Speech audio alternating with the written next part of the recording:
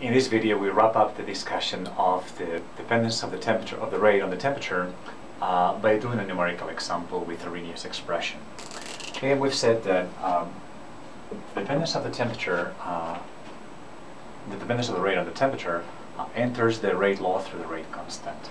And we can um, see, using Arrhenius expression, that the dependence uh, of that rate constant on the temperature has this functional form and we have explained what the pre-exponential factor A is and what the acti activation energy uh, means as well. Okay, so uh, one of the questions that we can ask then is, well, uh, uh, how much does the uh, rate or the rate constant of a chemical reaction uh, changes if we change the temperature just a little bit?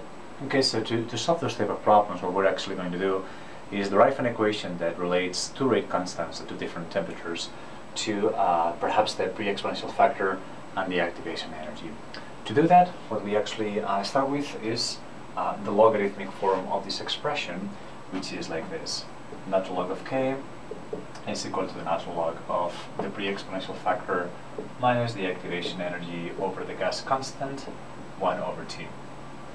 Okay, so what we're going to do is write this expression for two different temperatures, and then we will try to consolidate uh, those expressions so that we can come up with one equation that relates two rate constants with the temperatures at which the, uh, those rate constants uh, are. Alright, so let's assume that uh, this expression is for temperature T2, which can be any temperature that you wish. Okay, so the way that this turns into is that T turns into T2, and this K should change as well, because it should depend on temperature, and we can call it K2. Now, the activation energy does not depend on the temperature. That's the assumption that we actually have right here. And we're also assuming that the activation energy, uh, the pre-exponential factor, does not depend on temperature either. Okay, uh, actually, we will see next chapter that uh, this is not exactly true. Uh, this uh, pre-exponential factor does depend slightly on the temperature, but for the purpose of uh, this discussion, we're assuming that it doesn't. Alright, we can rewrite some expression at a different temperature, T1. Okay, so what we'll have is that uh, the natural log of the rate constant at that temperature, T1, is going to be equal to this expression in which the only change here would be in that temperature T1. Alright, so if we divide um, the top expression minus the bottom expression, we can arrive at a, uh, an equation that consolidates uh, what we want. Okay, so natural log of k2 minus natural log of k1. These two terms will cancel each other out, and then we will have minus the activation energy over r 1 over t2, then minus minus the activation energy over R, 1 over T1. Okay. Alright, so uh, let's see if we can make this uh, expression a little bit more tractable. Notice that here we have the difference of two natural logs, and that is the natural log of the ratio. Okay, so the natural log of K2 over K1. And then we can take here a common factor of minus EA uh, over R, the activation energy over R. 1 over t2 minus 1 over t1.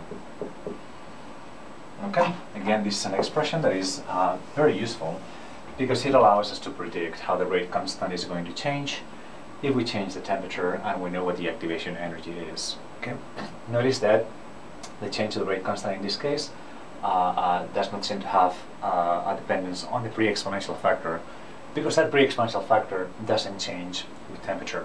And again, that's an assumption. Right, so let's uh, solve a numerical problem in which we're going to calculate the following. Suppose that there's a reaction uh, that has an activation energy of about 50 kilojoules per mole, which is a reasonable activation energy. Uh, many chemical reactions will have activation energies of around this order, anywhere from, say, 10 uh, to about 200 kilojoules per mole or so. Those are uh, pretty common. 50 would be a reasonable number. And the idea would be, uh, uh, suppose that we run this reaction in the bench benchtop in the laboratory at 298 Kelvin. All right, but this is a reaction of uh, human importance, and we would like to know what the rate constant would be at, a, at physiological temperature, T2. All right, so the question that we're asking is, well, by how much does the rate uh, change when uh, uh, we actually change the temperature from the lab to physiological temperature? Okay, so uh, you actually would, uh, again, plug in here this T1 right there, T2 right here, the activation energy up there, And then you can come up with the K2 over K1 ratio, which tells you uh, how much larger the rate constant at uh, physiolo physiological temperature is with respect to uh, room temperature. And this number happens to be 2.2, okay, uh, with two significant figures in this case. Okay, and that tells you that in just a change in 12 degree Kelvin, okay, very, very small increase in temperature, okay, the rate more than, the rate constant, and therefore the rate, more than doubles. There is a huge change uh, to the rate constant for such a slight uh, uh, change in, uh, in temperature. Okay, notice that uh, that is all uh, due to the activation energy. If we actually were to increase this activation energy, for example, make it 100 kilojoules per mole, you would see that this um, increase in the rate constant is actually greater. You would get to about 100 kilojoules, uh, sorry, to about a factor of 5 almost. Okay, so uh, again, that tells you that uh, how much the rate constant uh, increases when you increase the temperature okay, is sensitive to the activation energy. Uh, if you have a low activation energy, then the increase would not be very much. But if you have a high activation energy, then the increase in rate constant will be much, much greater. Okay, so this kind of uh, wraps us wraps up our discussion of uh, uh, the dependence of the rate and the rate constant on the temperature through the Arrhenius expression.